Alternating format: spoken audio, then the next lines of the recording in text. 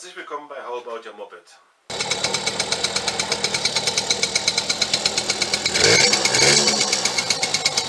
Abonnenten meines Kanals wissen, dass ich eine Restaurierung S51 S53 durchführe. Ich habe jetzt zwölf Wochen jetzt nichts mehr von mir hören lassen, weil ich gerade ein anderes Projekt hatte. Ich habe meine Wohnung komplett modernisiert. Ich habe da einmal komplett umgebaut, ähm, alles gemacht, Fußbodenheizung, Elektrik, Bad, einmal komplett. Deshalb blieb jetzt erstmal keine Zeit für die Restaurierung. Aber es geht weiter. Bleibt dran. Das Moped wird noch komplettiert. Ich habe mir in der Zwischenzeit auch schon mal ein paar Teile besorgt. Es gibt ja einige, die wissen, wie sie ausgeschaut hat, weil es gab Videos bzw. das Eröffnungsvideo. Am Anfang wisst ihr, es gab diese Maske vorne drauf, die hat mir nicht gefallen, weil ist einfach nicht Simpson-Style und ist halt ein Nachbau, den wollte ich halt nicht haben. Aus dem Grund habe ich mir diese Maske jetzt besorgt. Die wird wahrscheinlich noch in weiß oder beziehungsweise sie wird in weiß. Äh, entweder umlackiert oder kriegt ein weißes Cover drauf. Weil sich die Follower von mir oder beziehungsweise alle, die das Video angeschaut haben, haben sich für die Lackierung weiß entschieden. Also gibt es einen weißen Tank, weißen Seitendeckel, rote Streben, schwarzer Rahmen und demzufolge auch eine weiße Lampe dazu. Den Tank habe ich mir in der Zwischenzeit auch besorgt, also ist jetzt momentan dieser Tank, den werde ich nochmal komplett entlacken und neu lackieren. Der ist in einem guten Zustand, man kann es auch gut hören. Er ist nicht verrostet, hat keinen Rost innen drin und sieht gut aus, den werde ich also verwenden. Alle anderen, die schon mit dabei waren beim Zerlegen, kennen diesen Tank hier noch, der war original auf dem Moped verbaut. Ich habe ihn jetzt einmal komplett entrostet. Dabei sind mir auch schon beim Auseinanderbauen aufgefallen, dass es hier eine Roststelle gab, die komplett für Durchrostung gesorgt hatte. Ich habe diese jetzt mit Zinn versiegelt. Der Tank ist wieder dicht, also ist alles wieder in Ordnung. Beim Entrosten kam hier auch noch ein kleines Loch zum Vorschein, was ich natürlich dann auch nochmal komplett mit Zinn versiegelt habe. Dann ist der Tank jetzt einmal komplett entrostet. Ich habe alles Rost entfernt mit Zitronensäure. Äh, Zitronensäure. Da gab es einen Tipp von Zweiradbrigade. Die haben das mit Zitronensäure gemacht und ich habe das genauso durchgeführt. Also Zitronensäure, einfach, ich habe glaube ich 9 Löffel, 9 Esslöffel eingefüllt und habe dann diese 8 Liter heißes Wasser drauf gegeben, habe das 24 Stunden stehen lassen, einmal durchgewaschen, ordentlich gründlich gereinigt, danach nochmal mit Split und scharfen Gegenständen, also Schrauben kann man nehmen oder Motoren oder wie auch immer, den noch einmal komplett durchgerüttelt damit sich auch wirklich der letzte Rest von diesem Blätterteig, der sich innen bildet, gelöst hat.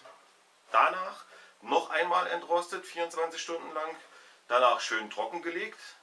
Alles gut trocknen lassen, nachdem ich den ordentlich durchgespült habe, auch mit Wasser. Und danach kommt der, das Highlight, also die Phosphorsäure.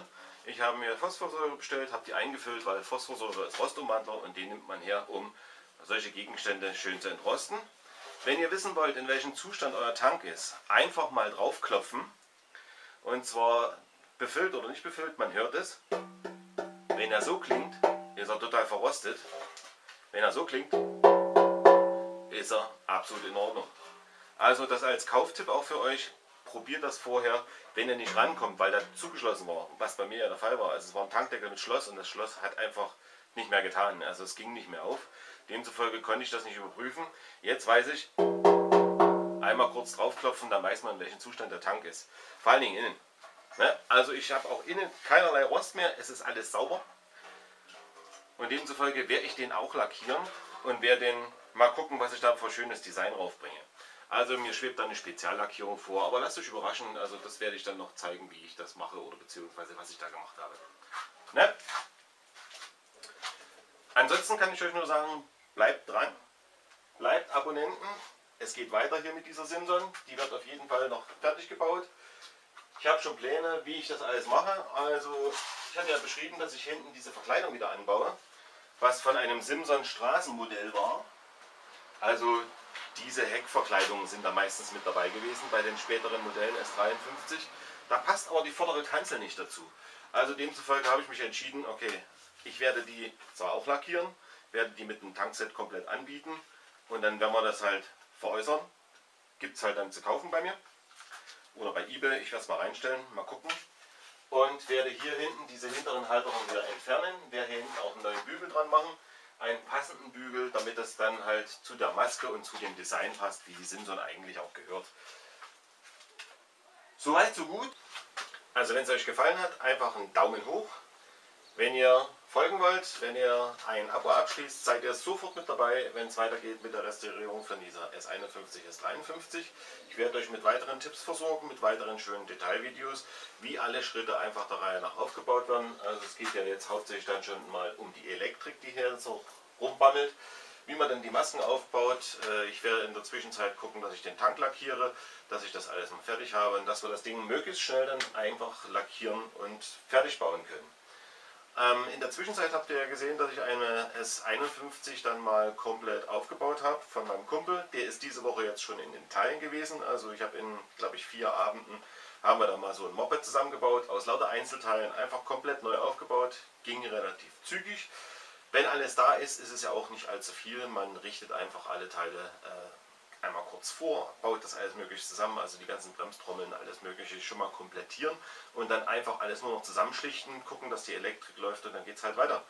So und das Moped ist wie gesagt in Italien, ist gerade mal eine Runde um Gardasee gefahren. Ähm, ich werde euch da auch nochmal mit Videos versorgen. Ähm, mein Kumpel hat da halt mit seinem Spätzle da halt noch ein paar Videos geschossen. Äh, alle beide Mopeds sind schon mal bei mir auf dem Kanal gelaufen, also ihr könnt die Videos dann anschauen. Äh, sind beides alles Simson S51 Kastenumbauten ähm, mit einem veränderten Heck bzw. Äh, ohne Herzkasten. Äh, sehen ganz witzig aus die Teile. Ähm, man kann da ziemlich viel machen. Ähm, wir haben jetzt auch an dem einen Moped einen schönen Luftfilter angebaut, dass der auf jeden Fall nicht so laut ist. Wie gesagt, wenn ihr ein Abo abschließt, seid ihr mit dabei. Also einfach folgen. Und auch unten meine Kommentare könnt ihr gerne was reinschreiben, wenn ihr irgendwelche Fragen, Anregungen habt. Gell? Also, ich wünsche euch bis dahin viel Spaß und wir sehen uns. Bis dahin. Ciao, ciao.